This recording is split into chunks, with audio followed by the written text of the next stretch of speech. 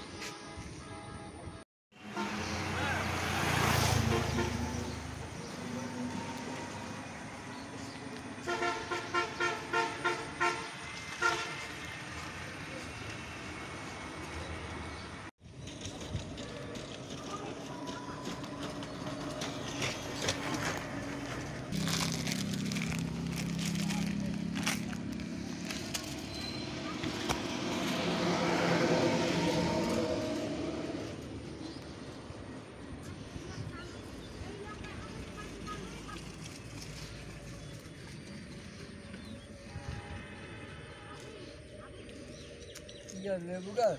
লেবু গাছ আঙ্কেল। লেবু গাছ তো ওই যে লাগাচ্ছি তাহলে গরু তো খাবে না তো? এখন গরুতে খাইলে আর কি করব বলেন? মাঝে মাঝে আসবেনি একটু দেখতে। গরু আসে এই পাশে? গরু না দেয়। ও এখন তো সরকারি তো। কোন জায়গায় ওই মাঝখানে? হ্যাঁ। কিন্তু মাঝখানে আঙ্কেল লেবু গাছ হবে না।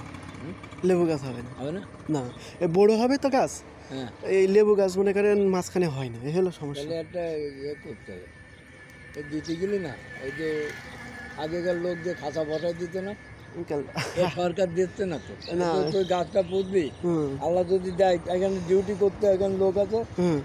হ্যাঁ এটি দেখলে দেখবি কিন্তু লেবু গাছটা। আঙ্কেল মনে করেন সবাই হবে কিন্তু সরকার চাইছে দেশে উন্নত হোক। আঙ্কেল, মনে করেন হচ্ছে এটা আমি স্বেচ্ছাশ্রমে করছি, আমার নিজস্ব টাকায় আমি গাছ টাছ লাগাই, বুঝলেন, রাস্তার ধারে। এর ভেতরে অনেক ওই দেখেন, ওই একটা খুঁটি দেওয়া গাছ অনেক গাছ আছে এই পাশ দিয়ে। তারপরে শহরে অনেক গাছ, আমি মোট বারো হাজারের বেশি গাছ লাগাইছি রাস্তার ধারে। এই লাগাচ্ছি। তা লাগাচ্ছি, আশা করা যায় কি বাস খাবে